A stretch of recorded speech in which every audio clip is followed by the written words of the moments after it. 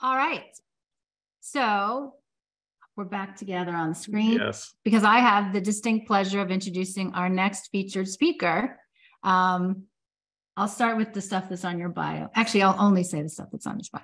Um, so Dr. Derek Cabrera is an internationally known system scientist who was inducted in 2021 as a member as a member of the International uh, Systems uh, Academy for Systems and Cybernetic Science for outstanding contributions to the field. Nice job. Um, he currently serves on faculty at Cornell University. He is the director of the graduate certification program in systems thinking, modeling, and leadership, who you will be hearing from our students uh, later. He's senior scientist here at Cabrera Research Lab, serves on the West Point uh, Systems Engineering Advisory Board. He's given two TED Talks. He holds some patents. He's written, produced a rap song. He's climbed some of the highest mountains in the world. He's written lots of books blah blah blah. Yeah, that's good. Anyway, my favorite systems thinker and our next speaker, Dr. Derek Cabrera. Thank you. Okay. So uh, I have to share my slides. This is quite the transition. Okay, so um, let's move this chair. Very excited to be here uh, and and thank you all for uh, for coming. I hope to share uh, with you a bit of what our lab studies and what we teach at Cornell, which is systems thinking uh, in the policy school, the Brooks Policy School. And I hope by the end of this half hour, you'll agree with um, my, my basic premise, which I'll share with you at the front end and then build up to it as a conclusion, which is that we now have a, a, a, an empirical, a much better empirical understanding of what systems thinking is, and we can define it um, somewhat as an emergent property and look at its simple rules. Um, and awareness of these simple rules constitute a skill that can be taught and can be learned uh, by people. But it must be practiced uh, through what we sometimes call cognitive moves.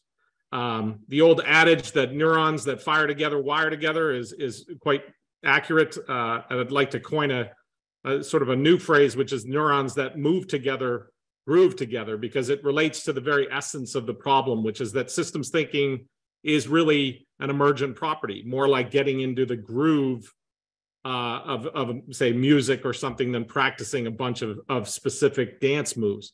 But the way that you, we get to enjoy that that groove is through through the practice of moves. But that's sort of the final conclusion of my talk. Um, so, but I, I want to share with you um, a little bit more how we get there. Our lab uh, studies uh, fast and adaptive thinking in complex adaptive environments, which amounts to studying, in scientific terms, cognitive uh, or complexity, um, or in popular terms, systems thinking and systems. So in the next half hour, I'll be sharing with you the ideas from our research that cover two semesters, uh, uh, graduate courses at Cornell. Um, and uh, so maybe first I'll start with a, a story. When, uh, when Laura and I, who at the time was my esteemed colleague, but is now my beautiful wife, uh, when we first met, it was on a National Science Foundation grant. And the goal of the grant was to take a somewhat technical uh, theory that I developed called the DSRP and, and elucidate it um, and translate it to make it sort of more wildly, more widely uh, accessible.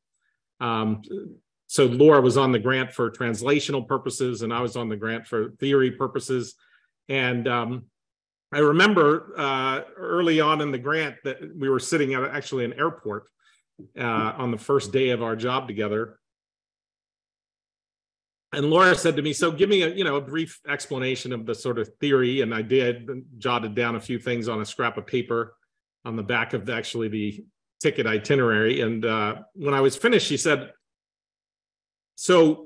I said, "Do you know what we should do?" Because I'm not entirely clear on what what the next steps are and she paused and then she said i do and i was a little surprised by that and i said you know well okay what is it what should we do and she said we need to go teach it to kindergartners Um, and so for the next 10 years, a very large part of our research agenda, aside from the, the, the basic research, was to look at the translational research and teach it to kindergartners, first graders, third graders. Um, we taught it to sixth graders, 11th graders, undergraduates, and even, even uh, eventually executives. And since then, we teach these ideas to C suite uh, executives in the Silicon Valley's most innovative companies, to scientists, to businesses, NGOs, government organizations, even special forces and professional athletes, and, and hundreds of um, K 12 districts. And do you know what the, the thing that that kind of still to this day blows my mind a little bit uh, is is that even though these different types of people are so different and they're focused on such different things i mean a, a kindergartner and a ceo or a scientist very different um, we teach them the same simple uh, underlying rules and uh, and and yet they are applicable. And you're going to see later today talks about this uh, in, in, particular dr christian sprague-scott on on the, how simple things can be applied to very very complex situations. Um, so we teach kindergartners the same thing we teach scientists and executives and you know, you, should also know that I haven't always been a, a systems theorist uh, or a cognitive scientist. In fact, I, I came to academia in a very meandering, sort of Forrest Gumpian sort of way.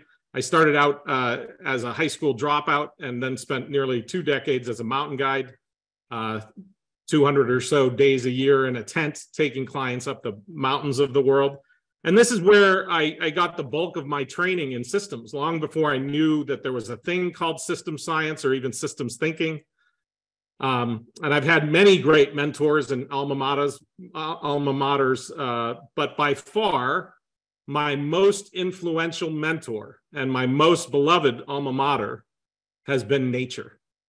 Um, the mountains, the, the real world, uh, that has been the most influential it was in the mountains actually that I came to understand systems and the importance of systems thinking, even though I didn't know at the time that it was called that. Because to a climber, the summit of a mountain is just an interdisciplinary problem to solve, right? But to solve this problem, you have to understand the mountain and the expedition as a complex system of systems, an integrated whole. And there are many different types of levels of, of systems. There's the systems of physics, and technical systems like your your technical gear and your rope rescue systems your uh, technology and the external systems like the the forces like weather and your snowpack and the geology and geography. Um, there's the systems of biology and chemistry your physiology hydration energy metabolism. Especially there's the transfer of heat and moisture with the mismanagement of which can lead you to anything from mundane types of uh, things like headaches or dehydration or sleep deprivation to more severe things like hyper or hypothermia or frostbite or even high altitude pulmonary or cerebral edema. So climbing is ultimately not only a physical game. It's also a mental game. So you have these uh, psychological systems that you have to understand, but it's also a sociological game, right? A, a, a collective social game. Many people don't realize this, but most expeditions fail not because of a technical challenge on the mountain or as a result of the weather, but because people in the expedition can't get along. They fail due to interpersonal dynamics. And what I would propose to you is that this is not so different from the situation that any of us find ourselves in um, where we need to see our world as a system of interconnected systems. But if I were to boil down all that I learned from nature about systems thinking for 20 some odd years in the mountains and, and in nature, I'd boil it down to this one life lesson. And that is we have to learn to love reality. And I mean, really fall in love with reality, seek it out, care about getting it right, seek the truth even when it hurts and makes you mad or sad, or even when it makes you feel things you don't want to feel. And that means paying particular attention to the signs around you, but also means paying particular attention to the bias that's inside of you, to be aware of what you desperately want to be true. No one wants to be lost on the side of a mountain. Everything in you, when that happens, wants to at least kind of pretend that everything's okay. But remaining calm and embracing the truth of your situation is usually the best remedy. And in fact, we, we mountaineers have a, a saying, which is that the truth will set you free, but first it'll piss you off. So, love reality. The reason I boil it down to this basic idea is that I can teach you how to analyze and understand systems, but it's far more difficult to teach someone to want to get it right, to keep striving to get it right to love reality, to care so much that you actually want to hear from it and not be in denial to it. That's the hardest part. The rest is just practice. The best part, though, I will tell you, is that uh, reality is putting in the work. It's always communicating with you, it's always telling you about itself. If you're listening, not just listening with your ears, but with your whole person, your whole body, your whole human apparatus. And in fact, this is one of the things we focus on most with our graduate students is getting them to listen to the system before they start solving problems. Because problem solving is often our first bias. Our students come to graduate school passionate about problems, challenges, and crises, and they're quite sure that what the problem is, and they're often quite sure of the solution. But we spend a good deal of time to get them to stop solving problems and start understanding systems understanding systems is loving reality. And the nice thing about systems or reality is that if you don't listen, if you don't hear what they're telling you, and you and learn the lessons that they're teaching, then reality will teach it again and again. Reality is a full time, persistent, and stalwart teacher. So, this is kind of our world. It's a blue dot, aka reality. It's a system. It's a system made up of many systems, what I call a system of systems, SOS, that are interconnected, not merely a bunch of systems, which are BOS, right? We face many grand challenges and wicked problems as a society, not to mention the more mundane problems that we face every day as individuals mass killings, climate change, war, famine, hunger, problems in our jobs, in our marriages, in our family, with our children, with our friends and loved ones. And as Einstein said, we can't solve problems with the same thinking we use to create them. So let's look a little deeper into what that means.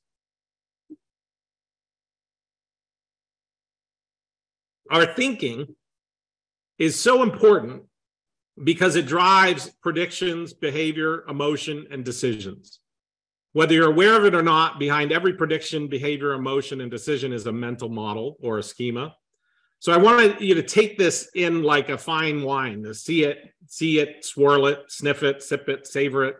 Let it sit on your on your cognitive tongue. When what you think aligns with the way things actually are, the decisions you make will work out as planned. And this is incredibly important to policy folks and things like that. But we can also take the inverse to this statement, which is that when things don't work out the way you planned, that's reality telling you your mental model was wrong.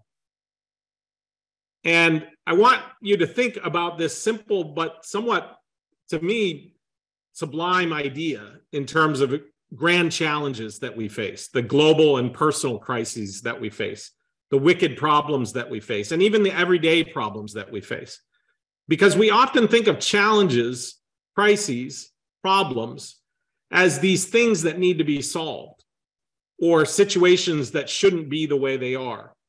But I want you to consider that challenges, crises, and wicked problems are actually something else entirely. They're feedback, feedback from reality that your mental model of the system is wrong, that the way you or we are thinking about the system is wrong. So if we're to love reality, let's start off with some basic features. The real world, you could say, is volatile, uncertain, complex, or ambiguous or adaptive. Um, and that really isn't the problem. The problem is that's that's just reality, right? The the problem is that uh, our, while the real world is what we call VUCA, the way we tend to think about this VUCA world is what I sometimes call LAMO, linear, mechanistic, anthropocentric, meaning human centered, and oftentimes overly ordered. The problem is the mismatch between how we think that these systems work and how these systems work. Our thinking is biased in ways that don't match up with the way the real world actually is. And we project this bias onto the system. Let me give you a, just a few examples just to kind of flesh this out a little bit, this idea. The real world is dynamic, it's adaptive, it's organic, and it's constantly evolving. Yet we tend to think in very mechanistic ways. We, we use uh, metaphors that indicate this, these kinds of ways, like the universe is like a clock, or the brain is like a computer. But the universe is no more like a clock than the brain is like a computer. The brain is 90 billion neurons with more connections than there are atoms in the universe. It's encased in a three pound enfolded, mushy, gelatin like mass and distributed throughout our experience grounding body. And in fact, people at the cutting edge of designing computers are trying to make them more like brains. The real world is multivalent by nature meaning and both can be true. Yet our thinking tends to be needlessly bivalent, either or thinking. Um, you can have either or thinking inside of and both thinking, uh, but but we you know the, the real world has these multi variables. So let me ask you a simple question: Take any product or service. Does a does a customer want it to be faster or cheaper? And of course, they want it to be both, because the universe, reality, nature, systems are multivalent, not always bivalent, although there is bivalency inside the multivalency. But we continue to adopt the sort of tyranny of either or thinking rather than the embrace the genius of and both thinking. And our social systems are born of this uh, somewhat binary thinking from the ones and zeros of our technology to our retributive system of justice, guilty or not guilty, to our two party political systems. The real world is networked and nested and complex with a sprinkling of randomness. Yet we think of things in ordered and static categories and hierarchies. And the real world is nonlinear and includes feedback and webs of causality. Yet we, we think in linear and causal ways, looking for a single or root causes. And we implement sort of silver bullet policies and solutions to problems that require webs of solutions that match the webs of causes. And you're going to hear about this uh, later in the day around uh, the, the, the very difficult issue of mass killings and research that was done there. The real world is agnostic to human endeavors. We are small and insignificant. Yet we tend to look at things through our human centered, anthropocentric lens. Our world tends to center around us. So we need to think differently, to think more like nature does, more like reality does. This is the crux of falling in love with reality, a love affair that lies at the heart of science. And this is what we study how to do this better, how to get better at it. So we all suffer from bias, cognitive bias. There are many thousands of biases, hundreds that are formally studied. I think two, 288 different biases at last count that we formally study. But the root bias that underlies all of them, I call reality bias. And it basically goes like this We experience the world directly as it is. But the truth is that we experience the world through the veil of our mental models or our schema. The solution to reality bias is the simple awareness of and recognition of our mental models. Mental models are pervasive and ubiquitous. In other words, they're constant. So let's look at an example of what I mean when I say mental models. And this is just a, a video of some wildebeests. And they're looking at this thing and they have a mental model or a scheme of what, uh, what it is.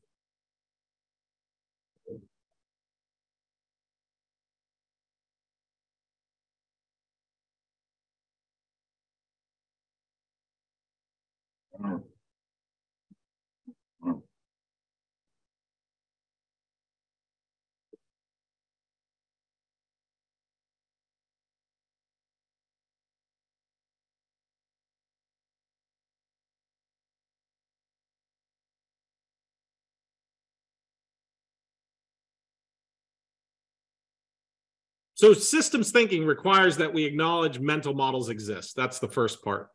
And that they are merely approximations of reality. Um, in fact, George Box, the statistician, said all models are wrong, but some are useful. Our mental models are just approximations. And because of this, we need to test our mental models in the real world, preferably as soon as is humanly possible. Um, and then we get feedback from the real world. Like I spoke of before, it's constantly giving feedback by just existing, and we adapt our mental model based on that information. That's the, this is called the systems thinking loop. It's the loop that's at the basis of human learning and even, you know, the basic idea of science. Um, and it's an iterative feedback loop. So we go around and round and hope that it gets incrementally better.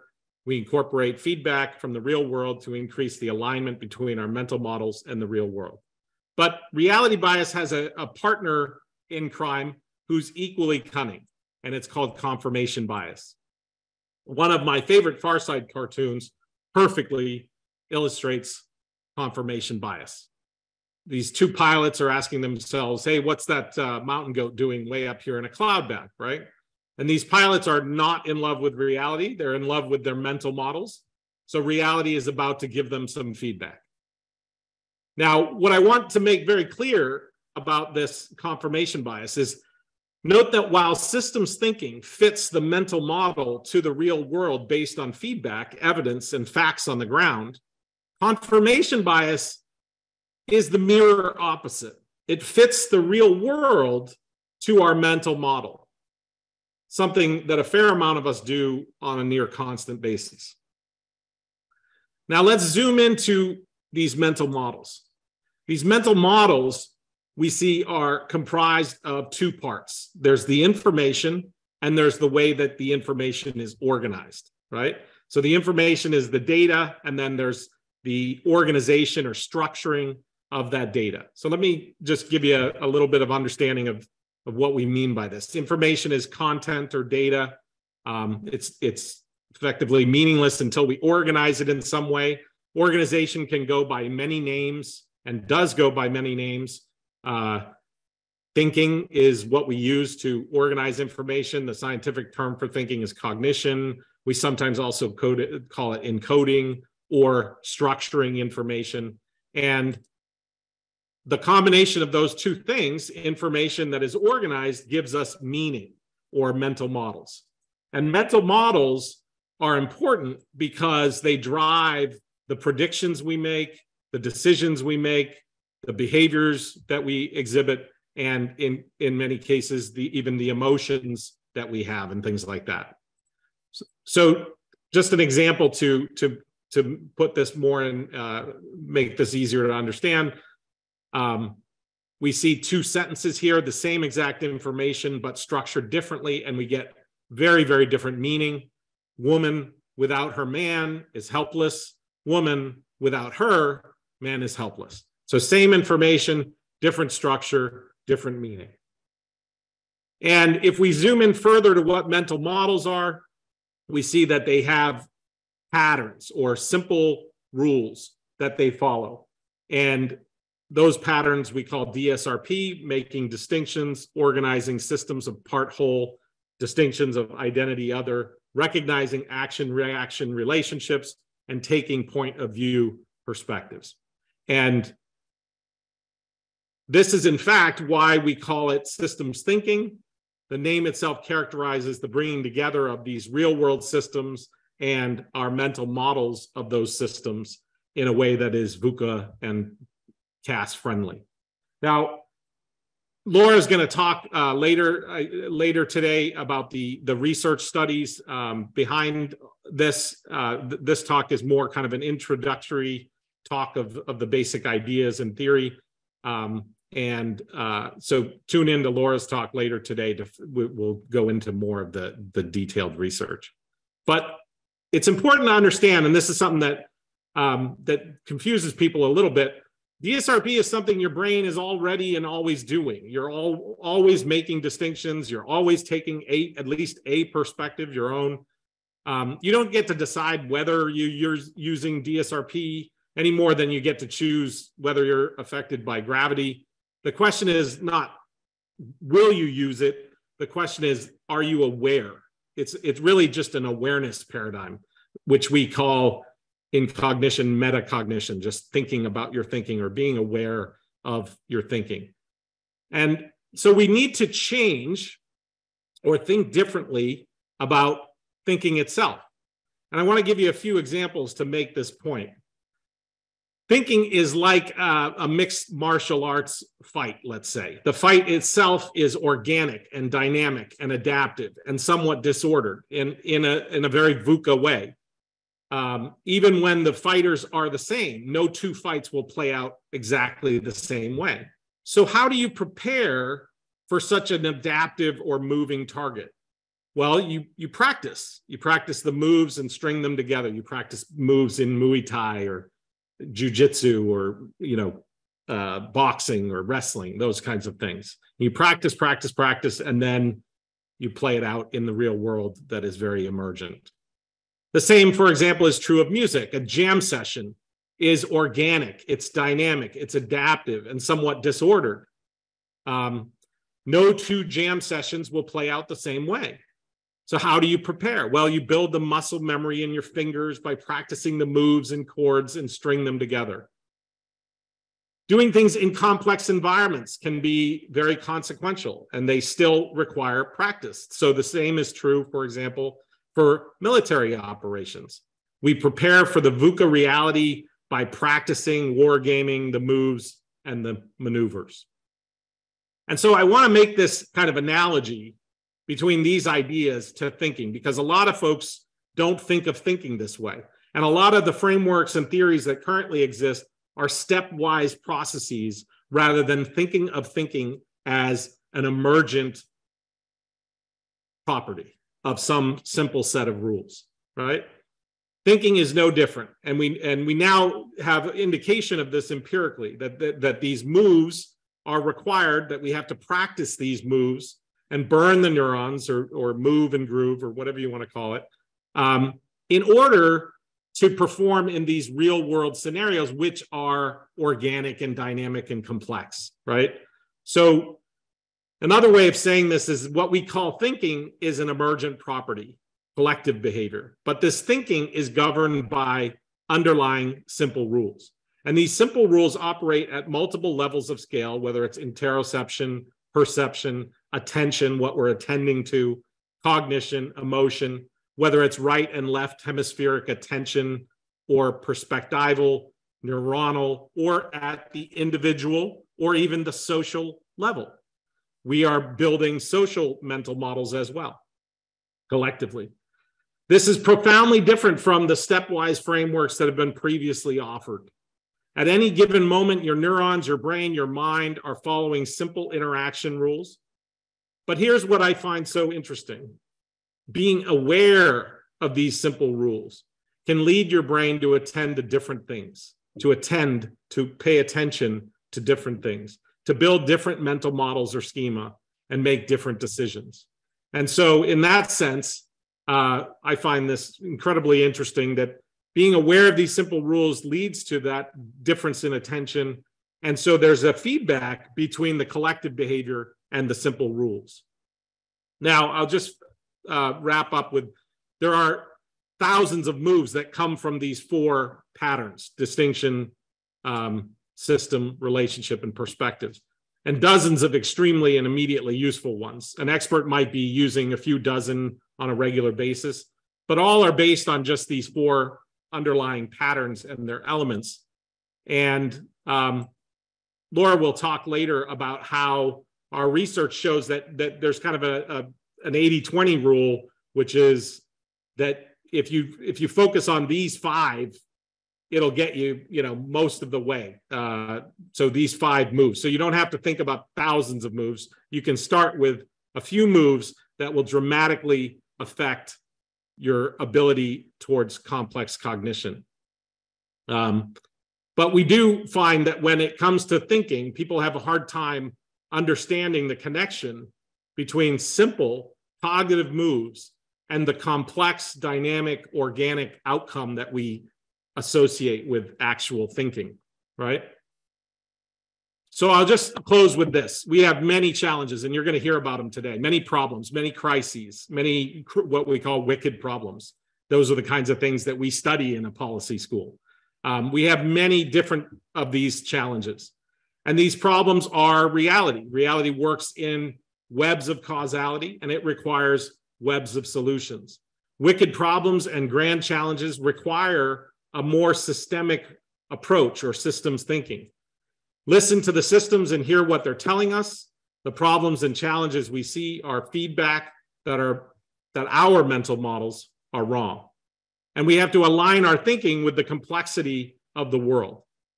We now have more empirical evidence about what systems thinking is uh, over the 70 or so formal years that we've been studying it. And importantly, we know how to teach it and what specifically to teach. Now, when Laura and I started our lab, we had a vision of 8 billion thinkers, a world full of systems thinkers. And the reason for that is that at that time, systems thinking was only available to specialists and experts.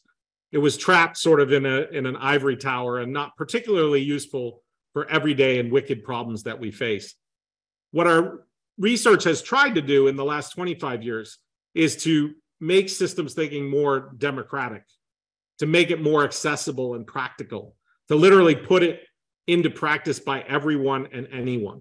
Because the problems that we're facing are being generated by 8 billion people. So we need 8 billion thinkers to solve those problems. Um, so I hope you'll join us in our vision of, of doing this because we definitely can't do it alone. And with that, I'll I'll wrap and uh, I guess Laura's going to do Magic move. Q and A The moderator magic move. for this first part. All right. So, um, great session. Thank you. What I would like to do is start with the first question I saw come in, which is something that you've said a couple of times that might seem a little bit backwards to the audience, where you're saying that the wicked problems we're seeing are actually feedback rather than outcomes. And people were wondering, could you just expand on that a little bit? Yeah, if you, if you think about it, if if um, if we have, you're going to hear a lot today about research that's been done in mass killings, for example. If we have these mass killings here in the United States, it's a it's a significant problem. Well, that problem is reality giving us feedback that something we're doing, in fact, a lot of somethings we're doing, isn't working. That that our mental model of the way we approach things, the way we do things, the way we build things, the way we design things, and a lot of different things, not just one thing, uh, is is wrong. So reality is giving us feedback that hey, you know, like you you think that this is the way to design a system or several systems within a system of systems, but the outcome of that type of design is, for example, mass killings and so we should think about that as feedback. These challenges that we face, these crises that we face, these wicked problems that we face are feedback from reality, from real world systems that are telling us, hey, you know what? The way you're thinking about this, you, you have you don't have it right yet. So you need to think about it differently. And then the question is, well, how do I need to think about it differently? I need to think in more systemic ways. I can't solve something that is based on a web of causality with a single root cause for example. That's a that's a thinking error right? If if there's a web of causality there needs to be a web of solution. Does that help a little bit? Yes that's great. Um, following up on that one of the questions from the audience is how do we deal with um, the impact of bias or self-imposed ceilings inside of our mental models when we're building? How do we reconcile that? Yeah, again, that comes to metacognition. The research on metacognition is pretty clear. Meta-analyses that are done across different empirical studies is pretty clear that increasing metacognition will increase um, success or effectiveness across many different domains. So personal, professional, you know, all the different domains. So just being aware of the distinctions that you're making, for example, and not or not making, mm-hmm. being more aware of what the other, the I- distinctions are identity other. So rather than just seeing what you see, see the things that you don't see, meaning you put a part of your metacognitive awareness on these are the things I'm seeing. what are the things I'm not seeing? So even though you don't see them, so they don't exist, you're asking a metacognitive question that causes you to attend to them. And that attention is going to change your cognition. It's going to change automatically, dynamically, your perspective. And you're going to broaden the view of the point view perspective. So it really comes down to, to, to metacognition and having kind of structures that help you make metacognitive predictions we call them structural predictions mm-hmm. that there will be structure here right? If if there's an identity i'm making there there by definition is an other. If there's parts there by definition is a whole. If there's an action by definition there's a reaction. If there's a point a perspective by definition there's a view and vice versa. So so that leads me to go a little bit off script and say we'll yeah. ask you one other thing which people may be wondering about. We talk about dsrnp as the patterns that yeah. underlie thinking but you've just talked about uh, identity other part whole point view and a action reaction. Can you just talk a little bit about the elements that underlie them and why they're important? Yeah that's that's a, a good question. The, the elements are really the thing that matters right? Because each one is a is an interaction effect between two uh, kind of balanced I, I, uh, elements. And um, so a lot of times when people are new to it they they think distinction systems relationships and perspectives. And as you get more aware of, of your cognition you realize that the at the element level is where the real dynamicy is happening. Um, so distinctions are really definitionally just the interaction between an identity and another. Right. The systems are just the interaction between part and whole relationships are just interactions between relate you know action and reaction. Um, and perspective is the interaction between a point a looker and a view or a looked at. And based on your answer about bias are you it seems like making a connection that maybe you're saying bias emerges from the inability to see both of those things or consider both of the elements inside of each pattern so yes. for example, just one point. Yeah, if you if you just look at the identity and you don't see the other, right. by definition, like if I say, you know, this this mason jar, right? I'm making a distinction. And I'm also making the distinction cognitively, not mason jar. Right. So you're going to hear, for example, later about economic markets. Well, what do we mean by markets and what do we not mean by markets? So the the definition of the way we define markets might be a bias in and of itself. Right. And so we have to test those boundaries because those boundaries are very germane to the everything downstream that we do, right? All those distinctions mm-hmm. are going to affect everything we do. And if we have bias in those distinctions, they will perturbate right. down throughout everything. And those distinctions, of course, are based on a perspective and based on the parts that we're seeing and not seeing and the relationships between the parts that we're seeing and not seeing. So these are very dynamic rules much like the dynamicy that you're seeing in in um, in ian's work that you know these these little agents are interacting but mm-hmm. there's millions of these interactions going on based on um, the complexity of the system.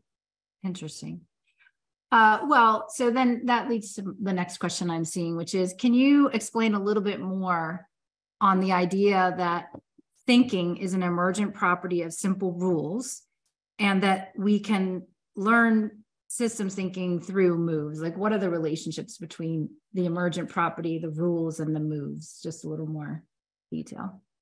So again, yeah, if you if you just think about it as an an analogy, because thinking, you know, our, our thinking about our thinking is very uh, mis, somewhat misinformed, I guess I would say. Um, think about something like an MMA fight, a mixed martial arts fight, or a, a, a jam session with music, right? The actual jam session is incredibly organic. It's incredibly dynamic. You've got a bunch of players, a bunch of instruments, they're jamming, they're riffing, their interaction, they have local interactions, right? Mm-hmm. And so this it's this very emergent property. And if you've got those same group of musicians together 10 minutes later and played the exact same song, it would be a completely different jam session, yes. right? Yes. So it's an emergent property of some simple rules that are playing out, right? Mhm. So thinking is that way too. Yet most of our thinking models are these stepwise do this, then do this, then do this, then do this. Those are the that's those are the theories of thinking, Mhm. right? Well, that those don't those are incompatible with each other. You're not going to get this organic outcome with these sort of stepwise Right. uh, do this, then do this, then do this, then do this in linear order, formulaic. What what we're actually doing is we're we, there are there is simplicity to what we're doing. It's these simple rules, and we're just we're just running an algorithm of those simple rules over and over and over again, and we're getting these very very very complex emergent property that we call thinking. Right? And Does that mean that we're like, you know, you build muscle memory when you're practicing moves in jujitsu, you're building like cognitive memory. Yeah, so the like- exactly. That's right. You're You're just you're burning the neurons, right? You're you're burning the neurons and the neurons are getting used to doing the same thing over and over and over again. Um, and so but you're burning them not around informational types of things like the, the state capital of Texas, but more around structural things like if if uh if something exists, what is it a part of? And what is that something a part of? And what is that something a part of? And what are the parts of that something? So it's a structural algorithm that's causing you to make structural predictions about things that could be thought that haven't been thought yet, Nice. right? Yep. Okay, so we have time for one more question before Yeah. we go to our next speaker. Um, one uh, member of the audience wanted to know, is DSRP related to Kahneman's work? Thinking like, is it a system one or a system two type of thinking? How does it relate to his work? Yeah. So, um, Kahneman's work. Uh, Kahneman's work is interesting, right? It- It's it's um, it it talks about system one and system two. System one is sort of fast, and it, the the the upside is that it's fast. The downside is that it's uh, that it's um, wrong a lot, right? It's a pretty big downside. pretty big downside. Uh, system two thinking is is like more slow but more accurate. Th- This kind of bias, I will I will go so far as to say bias, has been around for a really long time, like back into antiquity. Um, and and I think we know a lot more about in cognitive science and neuroscience about the the way the hemispheres in the brain work and things like that. To sort of say that this is just kind of like a slightly more sophisticated version of this very old way of thinking. There, I, you know, you can practice and burn the neurons and do organic, dynamic things better by practice, right? And so you can have fast and accurate thinking, which is what most people are looking for, right? Especially if you're you know an, uh, an olympic athlete or special forces or anybody that's in a, a fast moving high stress environment you you you need you can't do fast and inaccurate or slow and right. You need fast and accurate as much as is humanly possible right? So mm-hmm. how do you train for fast and accurate? Well the, the special forces do it all the time. You know they're going into massively complex massively adaptive chaotic environments and they're training for those environments right? They're training for those environments. And that training is practice practice practice. And then they get into the environment and they're able to move quickly and accurately meaning the the results are relatively good um, based on that practice. So thinking is no different. If you want to be fast and accurate in some organic in situ environment you've got to practice the moves just like you practice bj you know BJJ moves, jujitsu moves, or whatever. You practice, practice, practice. Then you get into a fight. Everything, all you know, your whole plan Yeah. stops when you get punched in the face for the first time, and then you've got to adapt. But that doesn't mean that you're not going to utilize all that all that neuron building, Right. right? All that all, you, you're going to utilize all that practice. But part of that practice is built-in adaptivity Right. right? So I think it was uh, Patton or somebody that said like, you know, your plan is good. Or no, I think it was Mike Tyson that said, you know, everybody's got a plan until they get punched in the face, right? Uh, and and that that is very true. That's what an organic, dynamic situation is like, and that's what thinking is not this contemplative, uh, you know, like the thinker statue. Thinking is is not this uh, reflective kind of thing. Thinking is actionable. Thinking is dynamic. We're doing it all the time. If, if you know, Ian's presentation is a great example. of. There's all this thinking going on, right? All the time. It's very much a part of how they're navigating this uh, geospatial place, you know, and um, and so thinking is very dynamic Mhm. and very all the time. It's not uh, navel gazing, No, you know, or just when we're being reflective, right, right? right. right. And we can have agency over our thinking, purpose over our thinking is what you're saying. Yeah, there's a yeah, there is this beautiful um, aspect of our of our cognition, uh, metacognition, which is we can actually, by being more metacognitive, we can have agency over what we do cognitively. Right. So we can change the dynamicy of the rules. Yes, yes. Um, that reminds me of the time we were at that elementary school. And we were talking to K through, and I won't take long, I promise, K through fourth graders. And we were talking to them about thinking and we asked them what thinking was. And they said, oh, it just happens, just like our heartbeats. Yes. And we actually spent some time explaining that you can have some purpose and agency over how you're thinking once you know how you're thinking things through and, and that sort of stuff. But anyway, I don't want to get on the side. So thank you very much. Yeah.